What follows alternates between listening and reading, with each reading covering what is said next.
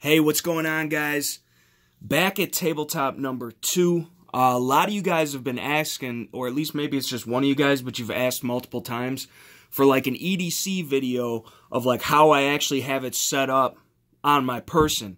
Um, due to the fact that I'm just an amateur YouTuber and I would rather buy guns gear and ammo and cool stuff, you know, than high dollar expensive fancy tripods and different stuff. Um, my tripod's kind of jerry rigged and ghetto rigged, and I couldn't get a good setup, you know, for the video that I know I would be in frame, and this to show you it actually on my person. Uh, but this is exactly, I literally just took my pants off. Um, this is this is how it would be. Uh, this is exactly how I carry it. Uh, you know, obviously, if I'm carrying a different gun, it's different. Um, but for the most part, this is literally, you know, how I have my EDC set up on my pants. You know, this is how I walk around. Um, so we'll go through it first um, on my ankle, my left ankle. The Lynx Defense Ankle Medical Kit. Extremely useful. Made in the U.S. High quality piece of kit. Carries all my medical stuff in it. I have a video that should have came out or will be coming out after this video. I don't know. Um, of all the contents in this, so I'm not going to waste too, too much time on it. Um, but we'll give you a little look-see. You know, definitely got some medical, some tourniquets, some uh, chest decompression needles, some gauze, some gloves, a spare mag for the Glock, Glock 17. So there's that. Um, this, my little uh, Shankaho neck knife configuration, paracord lanyard. This is my little ventilator. This runs on the neck, you know, so under the t-shirt, around the neck. So I have that. And uh, then here it is. Here's the front. Everything is supported perfectly by this Special Operations Equipment EDC low profile belt with the G-hook. Um, worn this belt for years. You can tell it's all messed up and dirty and whatever, and the G-hook's rusting out. Um, not rusting out, but rusting. And uh, still works perfectly. Still works just like the day that I got it. So, you know, there's something to be said about that. On the front support side, so you know, appendix, but a little bit more over my left front pocket. I'm running the Ka-Bar TDI in the NSR tactical sheath. Oh, bumping the tripod. Serrated. This is one of my defensive blades, my fighting blades. Um, super, super inexpensive for what it is, and it's an extremely, extremely good fighting knife. Uh, left pocket, pen, metal pen, nice writing pen, do a lot of paperwork. I've got my Streamlight TLR1, or TLR1 when I'm talking Streamlight um, Stylus. I don't know where I got That's a weapons light. Uh, Streamlight Stylus Pro. This is my EDC light. My, you know, I lost my keys. Got to find them under the car. This is my, oh, it's dark outside. Got to see where I'm walking. This, you know, just an EDC light with uh, the shock cord little mod on there. So I can do stuff while I'm doing stuff. And so that's hanging clipped to my front left pocket. On the inside of the front left pocket, I have my keys. Nothing's changed on the keys. Still running the Victorinox Classic SD little mini Swiss Army knife. I did lose my tweezers. Unfortunate. I don't know where they went. But it's got a blade, a file, little screwdriver, scissors. Real useful stuff. I have my backup gun right here. This is my backup gun. It's another Glock 17. This one's a Gen 5. Um, ResQMe, really important, really easy, really cheap uh, to have. And it's got the glass breaker, it's got the seatbelt cutter. Obviously, you know, you get in a wreck, that could prove useful. The Olight i3 EOS or whatever it is, the copper one, very nicely patinaed. That's a backup light. It's actually brighter than the Stylus, which is funny. Um, and then just a super unlucky white Bic lighter, and then the ubiquitous chapstick you know, extra ubiquitous right there. So that's the front left pocket. Front right pocket in the coin pocket here. Running my Gerber dime. That's where I keep that little guy. Really nice, inexpensive multi-tool that is way more capable than you would think, you know, for getting a job done. It's got a bunch of stuff on there, scissors, blade, package opener, tweezers. Got a little lanyard on there, most important feature right there when you got to crack cold ones. So that runs in my little change pocket right there. Uh, the little pocket knife that I'm carrying, I guess it's not that little. Um, but since uh, Bitch Made Knives is cutting up guns, I will no longer carry or buy or own their knives. So until I pick, and you know, until I pick up a, a Spyderco or a Southern Grind or something, you know, uh, to beat on, I'm carrying this. I used to carry this a while ago. Uh, it's roughed up. It's been used. Still sharp. This is the Kershaw Launch 6. It's an auto knife. Uh, the pocket clip is stripped and not the best because it I could probably lose this thing. But it's got a decent action. It's an auto. It's big enough to fight with. It stays sharp. You know, it's I'm not really worried about it. And then my phone, which I'm using to record, would also usually be in that pocket. Gun I'm carrying, Glock 17 Gen 4. Get it out of there. Glock 17 Gen 4. XS big dot sights. I really, really am a fan of the XS big dot sights. They pick up super quick and easy. I mean, that thing's just a golf ball. You plant that on the dude's chest and you let it rip. And, uh, you know, for combat effectiveness, self-defense, up-close personal, and even at distance, because contrary to popular belief, you can be more than accurate with these sights. I've proven it to myself. I was a little hesitant at first. Um, running standard pressure, 115 grain hollow points in there. Um, just for real quick follow-up shots and, and maybe better accuracy at distance.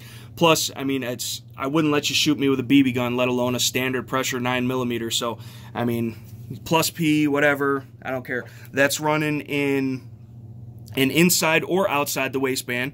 Uh, you can configure it how you want. I was running this outside the waistband, then I configured it to run inside the waistband, and that's the Watchdog Tactical uh, holster. I believe it is the Guardian. I want to say it's the, or the, no, it's the Guard Dog. It's the Guard Dog.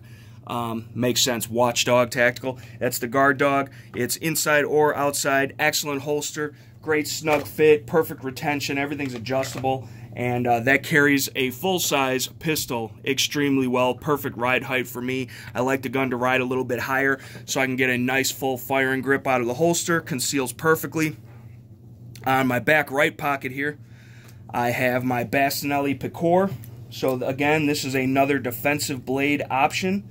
Um, it's got like an ulti-clip kind of deal going on there. So you just put it on the pocket and snap it down and it does not move and uh, it's kind of like half of a scissor kind of thing. It's a little stabby, pokey, get off me, go away, leave me alone type of deal, and uh, it's extremely sharp and it's it's quality made, and the sheath is really nice, and it's lightweight and easy, and I can just have this. I could have the retention. I could do cool Doug Marcaida stuff.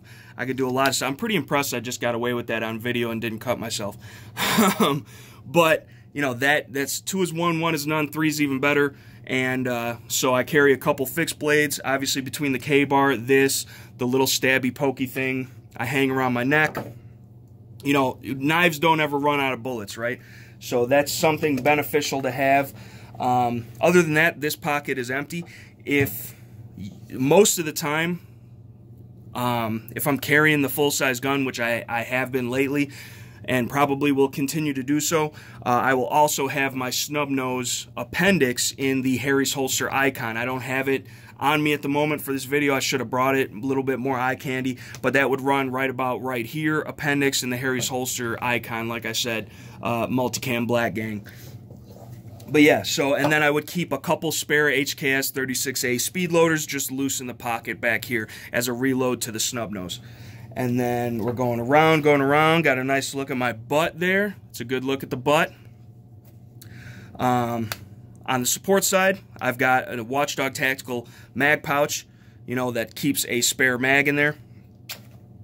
I got a little tighter retention, but not too, too tight, you know, so you, it'll hold on to it in case I fall or I'm doing ninja backflips or whatever it is. Um, but it's not, I'm not going to lose it, but I can still retain it wallet, SOE wallet. Not going to open it up and show you all the goodies in there, but I got my cool SOE patch on there, big Star Wars fan.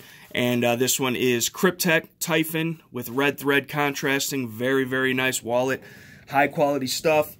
I also keep a Rite in the Rain notebook. I'm not going to open it and reveal all my secrets, but that's pretty useful.